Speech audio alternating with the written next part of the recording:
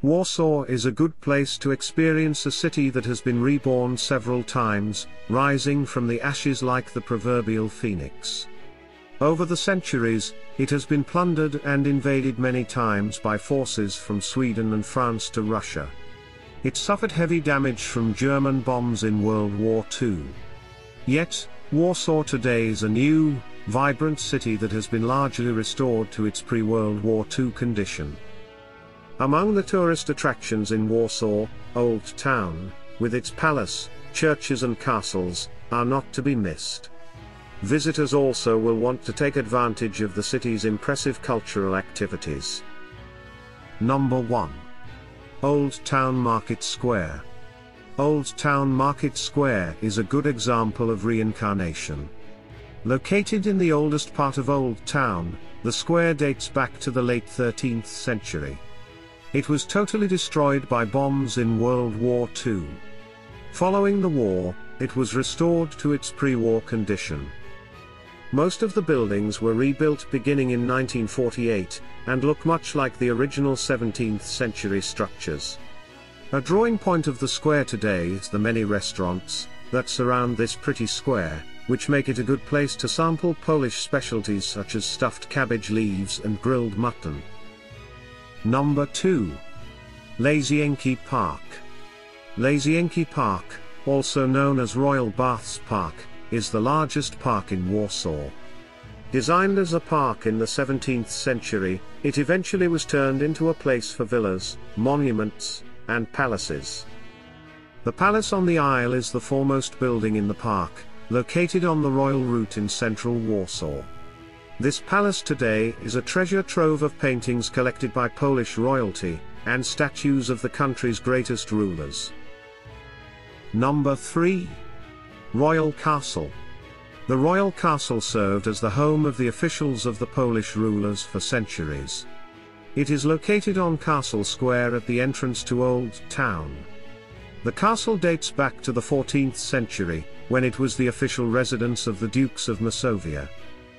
It was conquered many times by invaders from afar, but bounced back to be the place where the first constitution in Europe was drafted in 1791.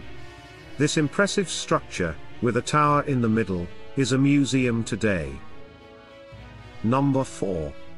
Warsaw Uprising Museum. Warsaw was famous for withstanding the Nazis during World War II. The Jewish ghetto, where Jews were confined by the Nazis, was the largest in Europe. The uprising, however, was not limited to Jews alone. Indeed, the whole city joined the fight in 1944. The Warsaw Uprising Museum opened in 2004 on the 60th anniversary of the uprising. Visitors will find a day-by-day -day account of the uprising which began on August 1st and ended on October 2nd. They'll also find an exhibit dedicated to children who participated in the uprising. Number 5. Nowy Świat. At first glance, Nowy Świat appears to be misnamed. Nowy Świat translates as New World Street, yet it is one of the most historic streets in Warsaw. It runs north from Three Crosses Square to the Royal Castle, taking in part of the Royal Route on its journey. In the 16th century, it was the primary road to the various castles, palaces and rural villages. By the 20th century, it was one of Warsaw's primary commercial streets, lined with neoclassical buildings it was almost completely destroyed during World War II's Warsaw Uprising. Number 6. Wilanów Palace.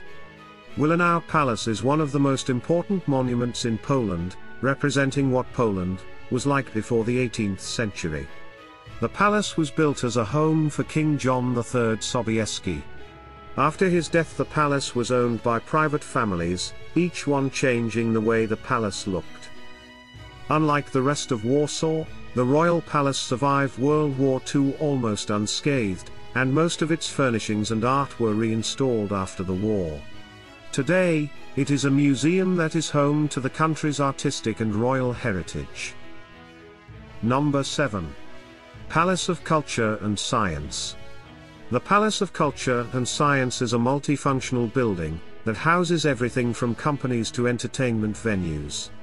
Built in the 1950s, the high-rise building, the tallest in Poland, features a spire that reaches into the sky. It was originally named for Joseph Stalin, but changed when the Soviet leader fell out of favor. Number 8. Museum of the History of Polish Jews. The Museum of the History of Polish Jews is located on a site that is important to Jews, the Warsaw Ghetto, where they were confined during the Holocaust. Opening on the 70th anniversary of the Warsaw Ghetto Uprising, the museum honors 1,000 years of Jews in Poland.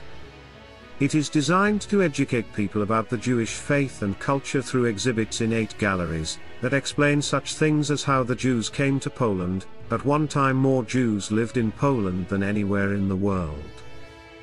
Number 9. Copernicus Science Center. Copernicus, who lived from 1473 to 1543, is one of the most famous scientists and mathematicians to come out of Poland. It was he who formulated the theory that the Earth revolves around the Sun, and not the other way around. It is fitting, therefore, that Poland honors him with the Copernicus Science Center, with a planetarium exhibit devoted to space, and how it impacts our lives. Number 10. Krakowskie Przedmieście. A walk down Krakowskie Przedmieście is a great way to experience Warsaw's history. Situated at the end of the royal route, strollers will find the Presidential Palace and Warsaw University, as well as Baroque churches. The one-mile-long street, one of Warsaw's oldest, links the Old Town and the Royal Castle. Considered one of Warsaw's most elegant streets, it dates back to the 15th century when it was a trade route. Hope you enjoyed the video.